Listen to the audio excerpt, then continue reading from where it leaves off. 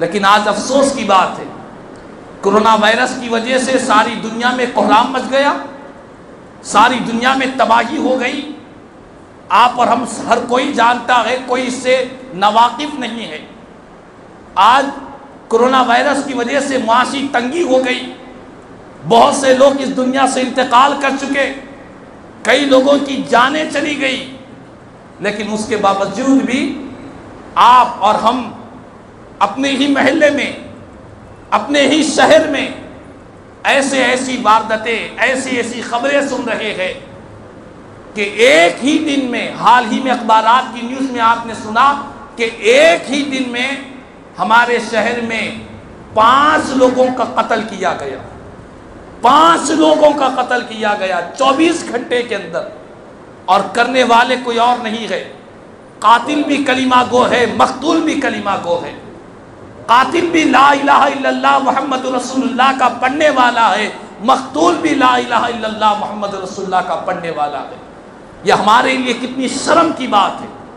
हमारे लिए कितनी अफसोस की बात है कि दुनिया में ऐसी तबाही मच जाने के बावजूद भी हमारी ज़िंदगियों के अंदर कोई इनकलाब नहीं आ रहा। आज मामली मामली बातों पर छोटी छोटी बातों पर हकीर सी बातों पर एक दूसरे से दुश्मनी की जा रही है, अदावतें की जा रही है, नफरतें दिलों में पैदा की जा रही है। किसी ने क्या खूब कहा? मौजूदा हालात के पेश नज़र, इंसान इंसान को डस रहा है। इंसान इंसान को डस रहा है, सांप देखकर हंस रहा है। सांप देखकर हंस रहा है कि डसना तो मेरा काम था। लेकिन यह अशरफुल मखलूक़ात कहने वाला ये इंसान होकर इंसान को डस रहा है। तो सांप ये देखकर हमारे मामला को, हमारी ज़िंदगियों को, हमारे अहवाल को देखकर सांप हंस रहा है। आज यही हमारी ज़िंदगियों में हो रही है। छोटी छोटी बातों पर इख्तलाफात, मामली मामली बातों पर लड़ाई झगड़े। घरों में एक दूसरे को कोई बर्दाश्त नहीं कर रहा है। एक ही छत के नीचे रहने वाले एक दूसरे के जानी दुश्मन बन चुके हैं। एक ही मस्जिद में रहने वाले एक दूसरे के नामों को सुनकर कतराने वाले बन रहे हैं, एक दूसरे के चेहरों को देखकर बदलने वाले बन रहे हैं। ये हमारे मुस्लिम माशरे की कैफियत हो रही है। तो खुदारा, आज ज़रूरत इसी बात की है कि अगर हम इस कोरोना वायरस से कुछ सबक लेना चाहते हैं, इस मौजूदा वबा से कुछ दर्स हासिल करना चाहते हैं, हमारी ज़िंदगियों के अंदर तब्दीली आ जाना चाहिए। हमारी दिन जिंदगियों में हसद जलन, कीना, कपट, अदावतें, नफरतें, दुश्मनियाँ, ये सारी गंदगियों को अपने सीने से बाहर निकाल फेंकना चाहिए। आप देखो, कैसे कैसे लोग दुनिया से गुजर गए, कैसे कैसे लोग दुनिया से रुखसत हो गए। अच्छे अच्छे हटे कट्टे लोग, समझदार लोग, अक्लमंद लोग, बड़ी बड़ी एहतियाती तदाबीर करने वाले, बहुत से लोग दुनिया से इंतकाल कर गए हैं।